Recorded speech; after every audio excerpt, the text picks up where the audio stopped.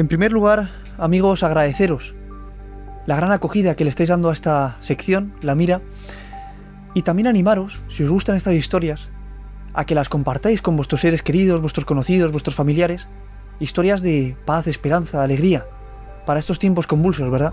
Al menos esa es nuestra misión desde el Refugio Zabala TV. Y juntos podemos llegar a mucha gente para poner nuestro granito de arena, ¿verdad?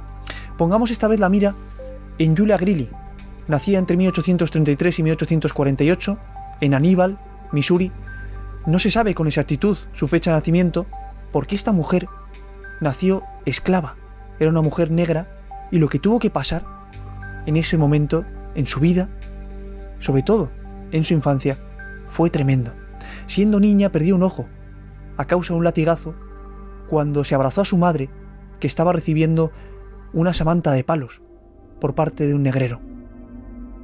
Em, fue víctima del racismo que la llevó a dedicarse a servir y a la pobreza más absoluta, pero en mitad de ese calvario que fue su vida, Julia hizo del sufrimiento, o dotó al sufrimiento, mejor dicho, que ella padeció, de sentido. En 1878, años después ya de que se aboliera eh, la esclavitud, Julia Grilli se trasladó a Denver con el matrimonio Gilpin, formado por su tocaya Julia y por su marido, que era el primer gobernador territorial de Colorado. Eran personas que ayudaron a Julia y sobre todo la ayudaron con algo muy importante, ¿no? Le descubrieron de alguna manera la verdadera libertad, la de ser hija de Dios. Le transmitieron el amor de Dios hasta el punto de que Julia Grilli, en 1880, se convirtió al catolicismo en la Iglesia Sagrado Corazón en Denver. Cómo del sufrimiento pasó a seguir sufriendo, sí, pero dando sentido a ese sufrimiento en su vida. Tenía mucha fama en aquellos tiempos por sus obras de caridad, pese a sus pocos recursos, porque esos 10-12 dólares que ganaba mensuales los destinaba a ayudar a los más pobres, a los más necesitados. Tenía una gran devoción al Sagrado Corazón de Jesús, que le marcó la vida incluso hasta su propia muerte, como ahora vamos a ver.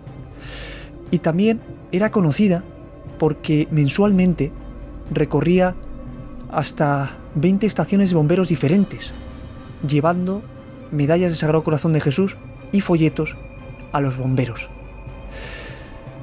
Cuando em, dejó el servicio en la familia, el matrimonio Gilpin, se dedicó a labores de limpiadora, de cuidadora de niños, de cocinera también, ¿no?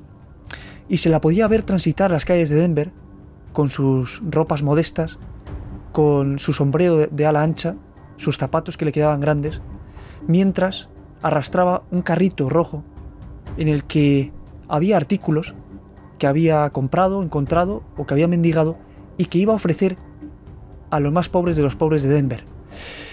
Y muchas veces esos pobres resultaban ser familias blancas, amigos. Pero esto lo hacía por las noches, para conservar su anonimato, para que no se supiera que ella había sido la que había ofrecido esos artículos a los pobres, ¿no? Una humildad llevada al extremo, se puede decir. Desde su conversión tuvo una gran fe. Iba todos los días a la Santa Misa y decía que la Eucaristía era su desayuno. Ahí encontraba la fuerza, ahí encontraba el sentido de su vida. Una vida muy atribulada la que había llevado, llena de miserias, de burlas, incluso de agresiones. ¿no? Increíble cómo se fue transformando y en 1901 ingresó en la Orden Seglar Franciscana. Pero esta mujer, que no era considerada atractiva, por lo menos físicamente, sí que tenía un atractivo espiritual, ¿no? Irradiaba una felicidad, una alegría y siempre estaba sonriendo. Algo que marcó, algo que dejó atónitos a todos aquellos que la conocieron. Cómo en mitad del sufrimiento esta mujer llevaba alegría a los que tenía a su alrededor. Y era un ejemplo de cómo seguir adelante frente a las dificultades. Julia Grilly, el ángel de Denver, se puede decir. Esta mujer que sí tenía una presencia casi angelical y que se conserva solamente una fotografía en la que se puede ver, la estamos viendo ahora mismo, cómo tiene sus brazos a una bebé a la que cuidaba con frecuencia. Y fijaros, como os decía, el Sagrado Corazón de Jesús, a que tenía profunda devoción, le marcó la vida incluso hasta su propia muerte, porque murió el 7 de junio de 1918, festividad del Sagrado Corazón de Jesús. Qué providencia, ¿verdad? Ese día, tras su fallecimiento, diarios, periódicos, la prensa de Denver publicó largos obituarios para ensalzar la figura de Julia Grilli. Y era tan querida, fijaros el detalle, que una vez fallecida, su cuerpo permaneció cinco horas en la capilla ardiente mientras un flujo constante de personas de todos los ámbitos de la sociedad, es increíble, pasaban para rendirle tributo, para ofrecerle sus respetos al ángel, amigos de Denver. Un ejemplo brutal, ¿verdad? Cómo desde niña había visto sufrir a su madre, cómo había sido víctima del racismo más absoluto, de la esclavitud, cómo había perdido un ojo ya de por vida siendo niña, a causa de un latigazo, y todo lo que tuvo que sufrir, ¿no? Pero, ¿qué ejemplo? ¿Qué ejemplo, amigos? Nunca perdió la sonrisa, nunca desdibujó su sonrisa y nunca desvirtuó su alegría. Irradiaba luz esta mujer, y por eso fue tan querida y sigue siendo recordada.